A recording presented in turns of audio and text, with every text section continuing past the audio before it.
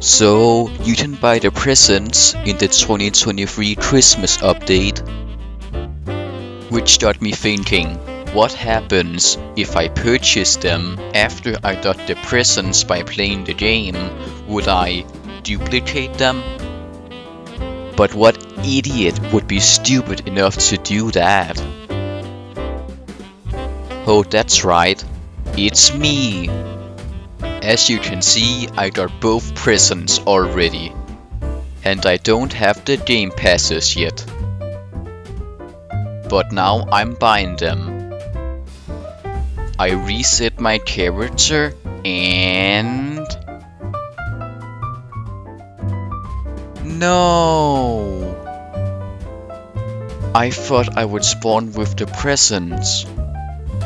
Oh well, it was worth a try.